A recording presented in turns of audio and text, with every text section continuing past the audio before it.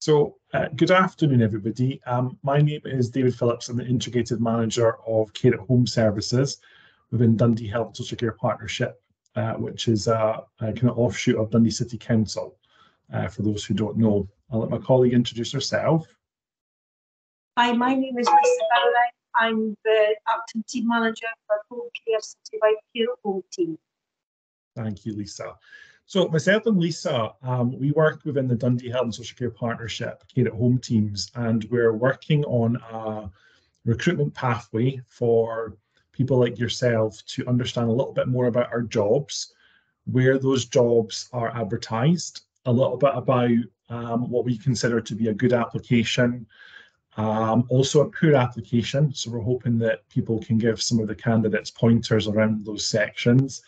We'll also look at the way we shortlist and we'll describe a little bit about that, a little bit about our interview process, um, a little bit as well around you know what to expect at the interview, but what happens after the interview, how we contact successful candidates, what's expected of candidates in terms of paperwork that needs to be sent back around criminal declarations, a little bit about what makes us a good employer for um, people to apply for our jobs, and the benefits of working for uh, the partnership and Dundee City Council. Um, some of this will be probably very familiar to a lot of you. Um, however, um, we're trying to aim this at a target audience that kind of have a lot of footfall in terms of job applications. So uh, apologies for anybody that's, you know, if it's blatantly obvious what we're, we're referring to. Thank you for attending today, however, because we do appreciate it. So um, I will start my presentation. What I'm going to do is there is a couple of screens I will probably come in and out of because um, I'm going to show you where our job packs are and where our jobs are advertised. So essentially our job adverts are all advertised on My Job Scotland. Uh, and I've provided the link. And what I'll do is the presentation will be shared um, with Andy, for example, who can hopefully pass this out to everybody. The link for the specific jobs we're requesting people look at are listed. Um, we have rolling adverts, so they appear every day. Um, something Lisa was quite keen to progress was rolling adverts because we have instance where we lose a bit of time when we close down an advert to do shortlisting and applications. We then can be several weeks before that um, advert's put back up on My Job Scotland. So we have rolling adverts now, and they appear every day and will continue to appear for a prolonged period of time. The way um, Lisa kind of shortlists and interviews, we'll discuss that kind of later on. But what you will see on adverts is that the salary and working hours are always listed, and each advert has a specific job description and person specification for that post and a job pack. So in for the purposes of the presentation, I've added in hyperlinks to all of those things so that you can click on them and view them. Um, but I'm going to just drag in a different screen, um, which is the screen that um, you would go to once you click on the My Job Scotland link. So I'm going to overlay that onto the presentation. So what you would see on this job advert is the salary range, uh, the contract time, and the hours of work. It gives you a very uh, specific overview of the job description, the requirements and responsibilities, and a little bit about the individual. But towards the bottom, it has key attachments. And the first one being the job description for that specific post. So this is the job description that Lisa would base her um, shortlisting on. So again, it gives you a bit about the job purpose, the contacts, the main duties of the post, um, and the job activities itself. But more importantly, towards the bottom, it goes on to uh, a person specification, which is the main elements of the shortlisting part. So you will see columns, essential requirements, desirable, and how then we assess the candidate is appropriate for that post. So, you know, when we're talking about ability to achieve an SVQ2, we're not asking people to have that award. However, if they can demonstrate how they would possibly achieve that through, you know, previous prior learning, etc., we would then take and assess that via their application form. Um, we also have kind of sections around work experience, so past and present, uh, but life or work experience. We don't expect any candidates to have uh, formal care experience. And again, the method assessment would be at the side here. We would take some of those um, from the application form, but also would explore some of that at the interview process. And again, particular skills and abilities, kind of the, the bog standard in some respects about communication, working as part of a team, using your own initiative. Um, so they're all in there. Um, and where we would also get some of that information from is references. You know, part of our references ask how the person was as a team player, um, how good is their written oral communication. Um, so some of this is picked up uh, through the application, the shortlisting, the interview, and also the references. So it's good for candidates to be reminded of that.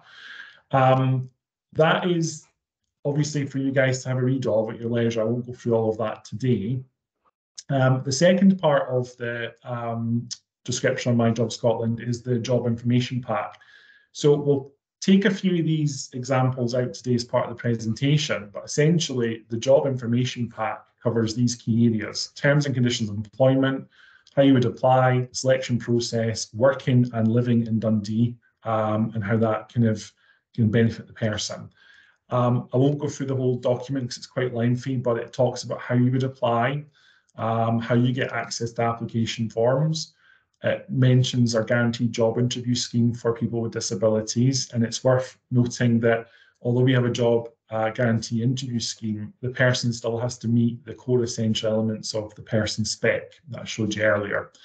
Um, we also have um, equal opportunities and, you know, kind of disclaimers around personal information and you know, bit more insight into the selection process uh, as a whole. So if you're interested for an interview, what you can expect, um, recruitment and selection pre-employment checks, what are they? How do we go about that?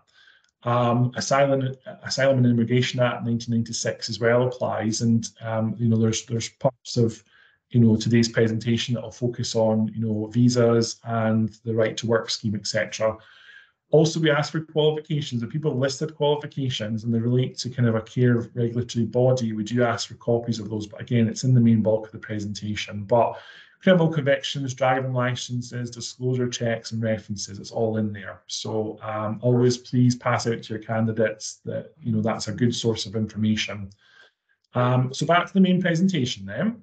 I'm just checking everybody can still see the screen because I've come out of a few different screens. So yeah, perfect.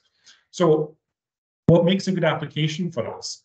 So applicants, you know, when it comes to writing applications, people kind of put different aspects into it, but we would like applicants to have a good example of their care experience, whether, as we've said, it's life or paid care, and not just bullet points. And you know, we always ask people, tell us why you would make a good carer. Um, and it doesn't have to be those formal attributes of paid care. Um, we've had many people showing qualities where they've looked after loved ones that have been unwell, or they've looked after children, etc. That you know are, are their children, but they've, they've you know foster care, etc. But also those life skills from other areas. Um, and we had quite a good example of a hairdresser that Lisa recently interviewed, who had all the core elements we were looking for in terms of communication, team working um, assessing situations, and that was a very good example of a career change for that individual. Again, we look for applicants to showcase values and qualities um, that they can demonstrate to carry out this caring role. Um, it doesn't have to be an exhaustive list. It's kind of three or four different examples of you know their personality, their values, and what they see as a good quality to bring to us. Most importantly, however, awareness of the job role. We do get applications where people have started writing them and it's talking about a different service. And we've had some examples of people talking about children's services. Um, that this particular job relates to adult services um, and it's obviously an older adult population. So we do uh, look for that awareness of the job role. It's all in the person spec and it's in the job role um, paperwork that's attached to the job description. So yeah, please ask your candidates to read that and when they're writing their application to link into that.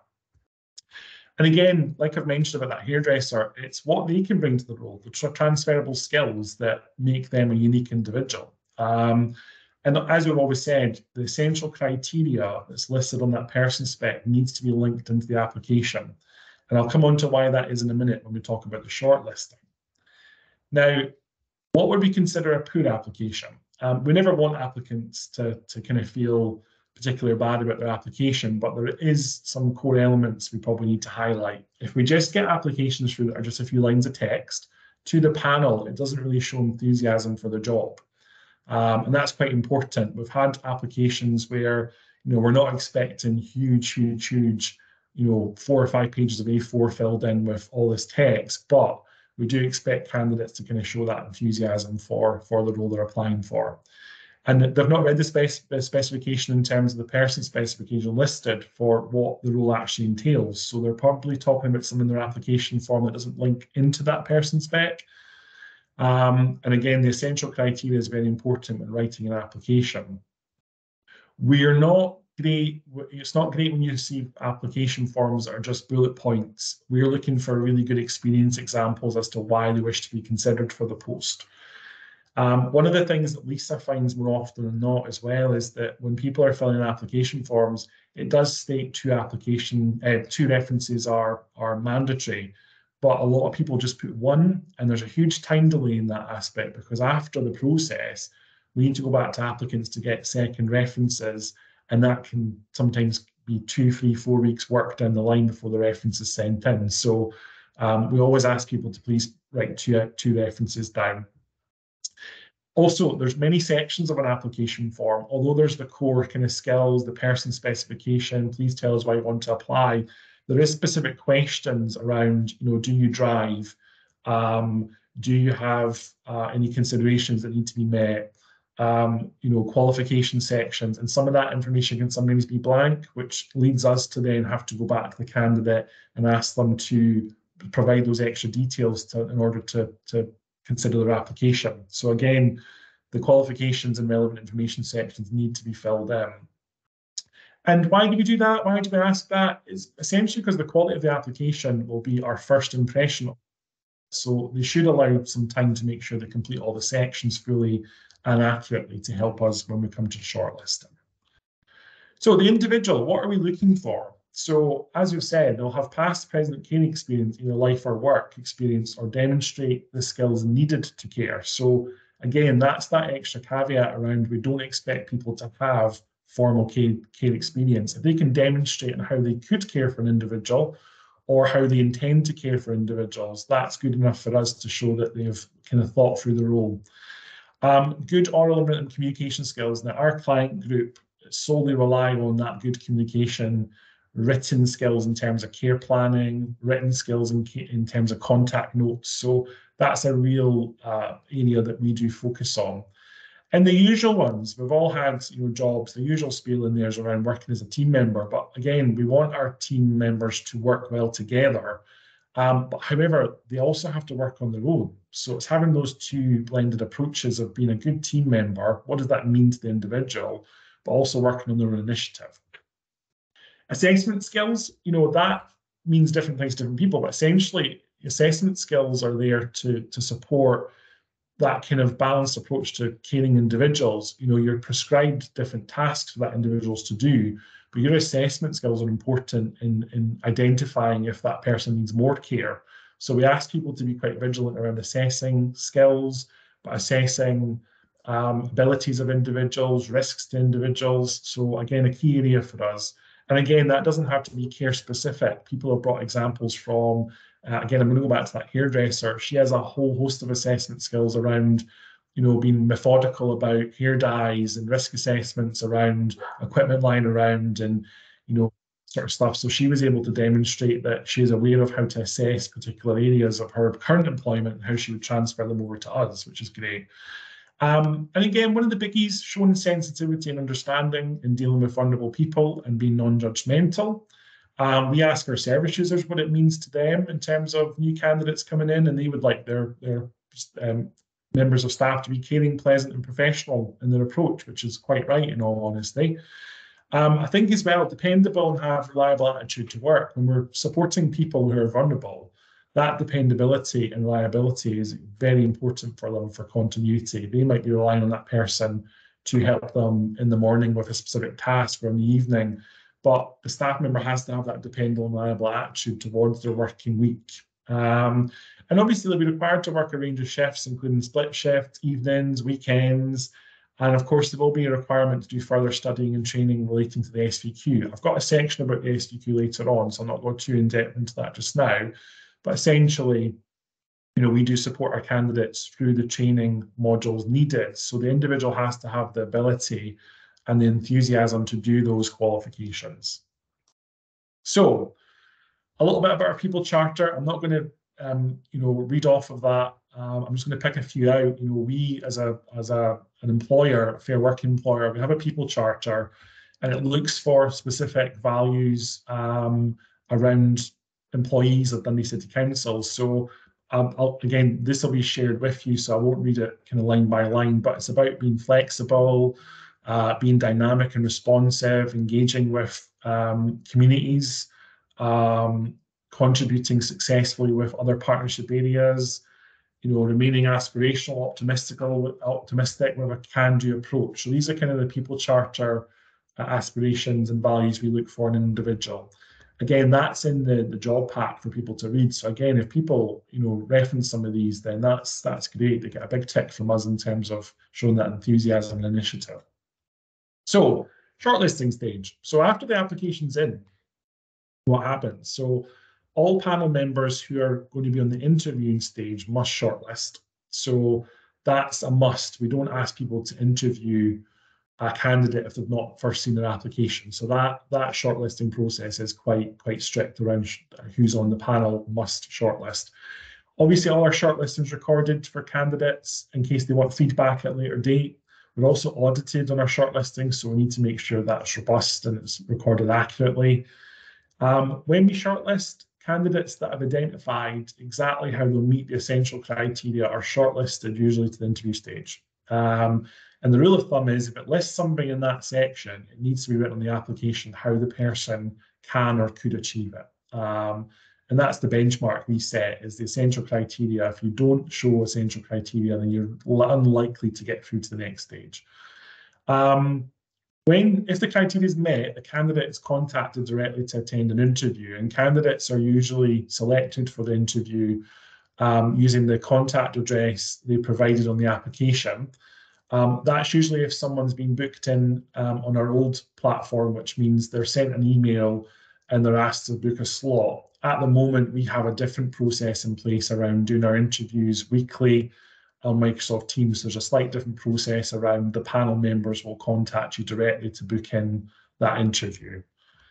Um, so what does the interview stage look like? So again, like I said, Microsoft Teams, usually weekly, candidates will be asked their preferred time we do work around people's schedules and commitments. We don't, you know, shortlist on the Friday and say you need to be here on Monday for an interview. We usually give people a little bit of time to prepare for that.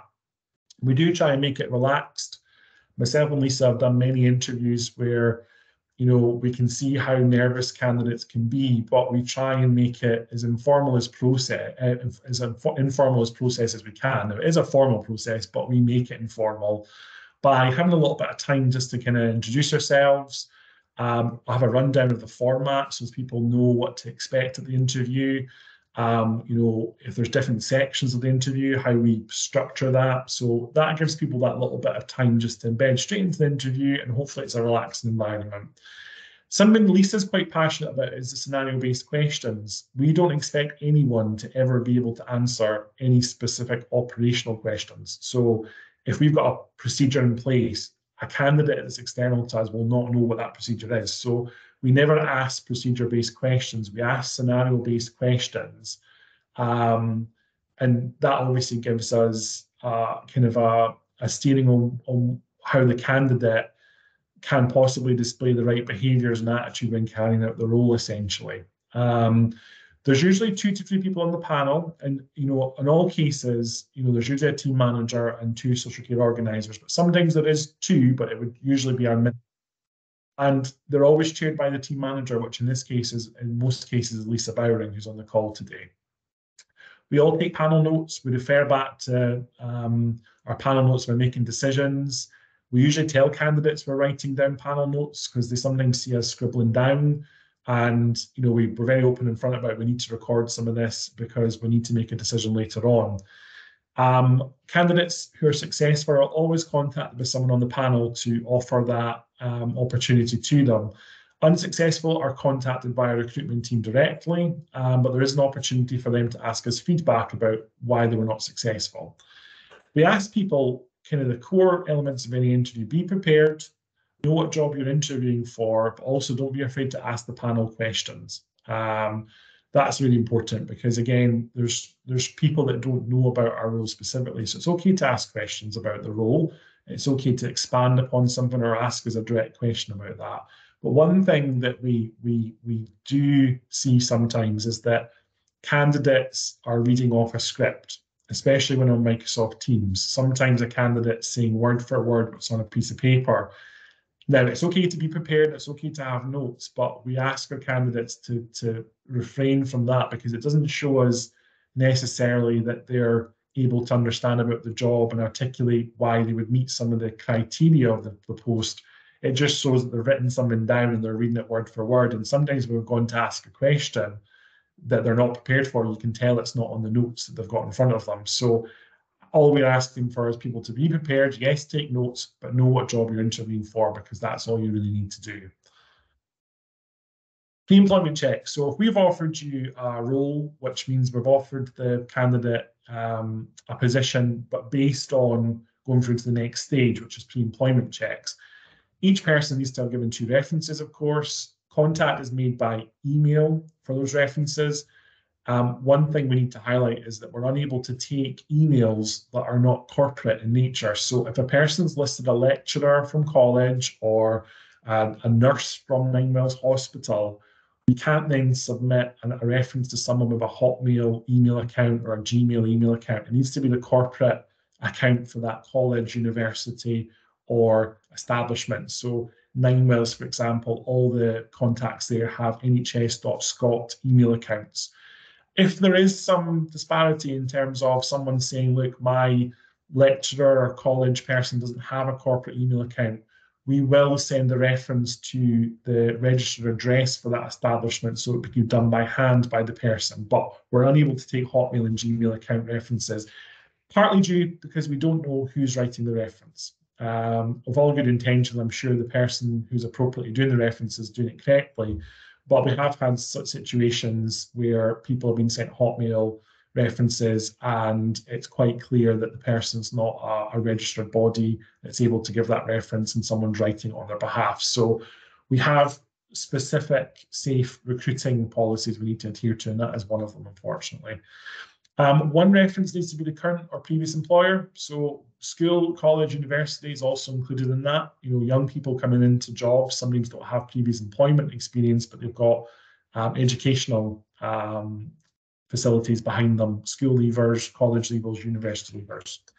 We also ask the candidates to remind the referees that references have been sent because we find the biggest holdup is that it's gone to someone's spam account folder or they've got it they've remembered they've got it, but then they forgot to fill it in. And the candidate's then waiting for all these pre-employment checks. And we've had people sometimes wait beyond four weeks to eight weeks for a reference to come back, which delays them starting in their new position. Um, we always ask for a PVG and criminal declaration form. So the criminal declaration is the candidate advising us of any criminal convictions. The PVG is the protection of vulnerable groups application. We would do that for the candidate and we would pay for that for them for to be undertaken. There's no monetary cost to them. But what we do need is ID checks, so copies of driving licenses, passports, and proof of address to allow that PVG scheme membership to be um, applied for. Um, candidates will also be asked to bring original copies of all the relevant uh, educational and professional qualifications. A copy needs to be taken for our records, and unfortunately, if the original certificates are not available, they must obtain a copy through the issuing body, whether that be the SQA, a college, a university, etc. So after all that, so the PVGs come back, um, the person's references are accepted and they're fine. What we then do is, is we discuss a start date with the candidate, but it's worth noting we don't ask candidates to give notice to their current employer until all those checks are done. So we would never ask an individual, right, give your notice, but we're also still waiting on your references. We would wait until the references and the PVG are back in the criminal declaration form. And then we would discuss when can you start, what is your notice period, and then we would plan them into that transition over to our, our um, employment. Prior to starting, though, there is some details needed, and these are sent via email. It's banking details, core details, next of kin details, etc., which would be asked for via email by our recruitment team and they will be kind of embedded into the staff members' profile for them ready to start their employment journey with us. Um, it's worth saying as well, all new staff must attend certain training that we provide, and that's moving and handling training, first aid training, and food hygiene. Now, the first aid and food hygiene don't have to be done straight away, but the moving and handling does to be able to allow that person to undertake any particular moving and handling with service users. It's worth saying as well, our social care organisers will contact the person to book a place for these uh, training courses and they'll also start to discuss uniform, equipment, mobile phone, backpacks that we all provide. So there's no cost to the employee.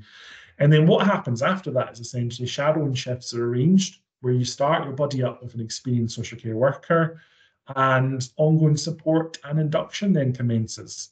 Um, so just a role specific interview. Um, Lisa couldn't make the um, presentation yesterday, so I wrote a few details down for Lisa. So Lisa, feel free to come in after I've said this section, but essentially the role is 25 hours a week. It's evenings and weekends in terms of the shifts. I've put a little bit about the start times because people often think, you know, what are the start times? It's 7 a.m. or 7.30 a.m. and 4 p.m. and 6 p.m. So we do ask some some of our runs to start at 7 a.m. And the latest the teams work is 10 p.m. However, it is acknowledged that occasionally, if the last visit of the night there's some sort of emergency call or you know you're waiting on an ambulance, sometimes that, that end time can be a little bit more flexible. However, we try and keep that to a very minimum. But when you're dealing with people, sometimes it can be very um, you know last minute. And candidates will assist in maintaining service users in their own homes in the community by attending to their sensed personal and social care needs. So that is fundamentally why we're here. Lisa, do you want to add anything to that that I may have missed? Yeah, just to clarify, the 25 hours per week are worked over a two and a half day period over seven days.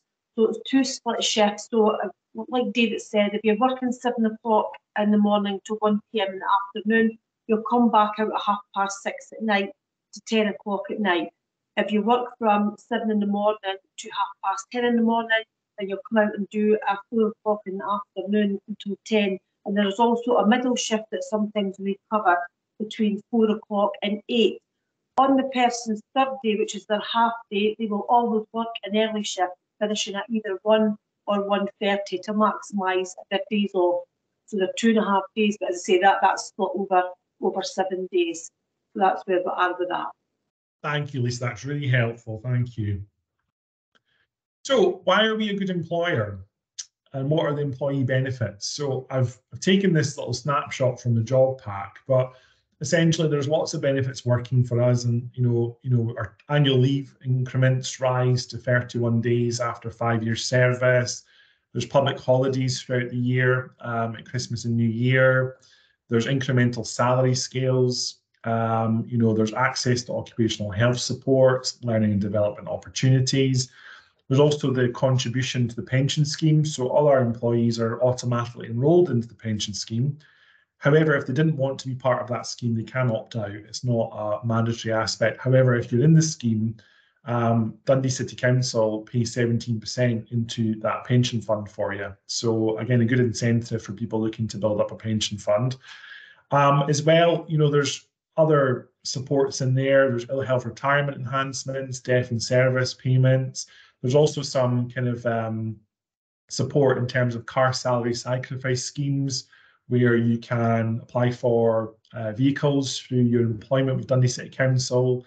And instead of that sort of normal PCP route or you know hire purchase agreements, you can do it through your uh, wages. And I think the tax relief on it is there's some sort of incentive, but you know persons looking to apply for it can find out a little bit about that.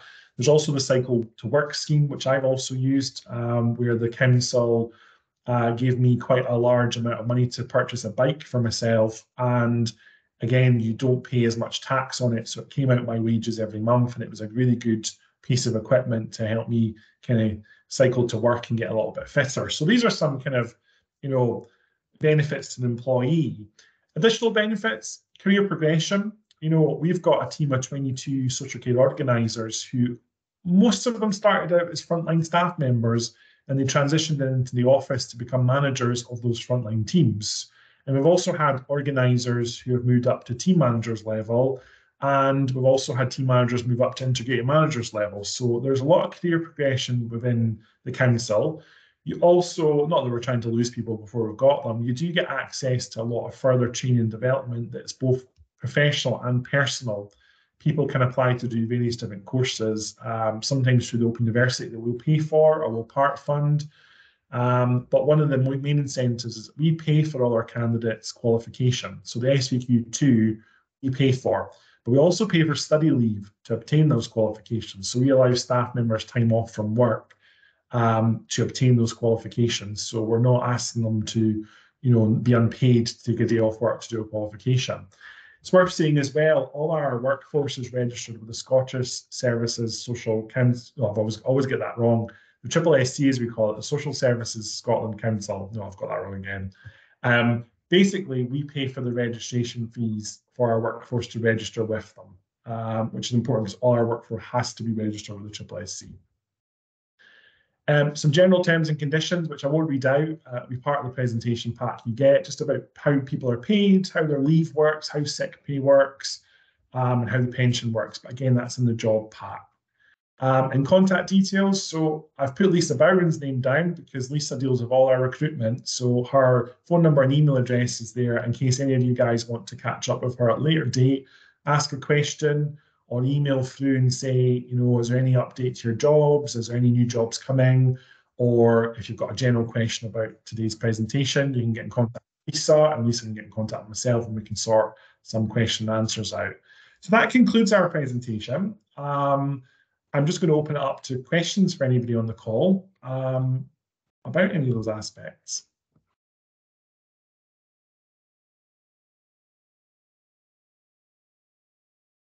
Silent. That's okay. Thank, thank you very much, David and Lisa.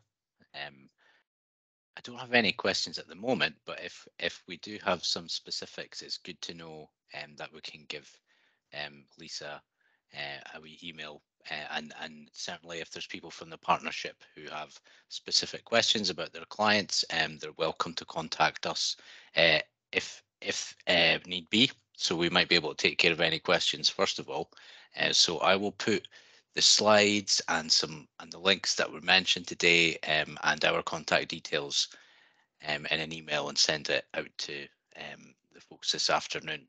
Um, so yeah, thank you very much. You're welcome. I appreciate that was quite a whistle stop tour of care at home. But it, like we've said, if anybody has any questions, we're, we're here to, to answer them even at a later date, as Andy said, you know, all these slides will go out to everybody. So feel free to pass them widely as well to other colleagues. Um, and we'll hopefully be able to help down the line with any questions you might have.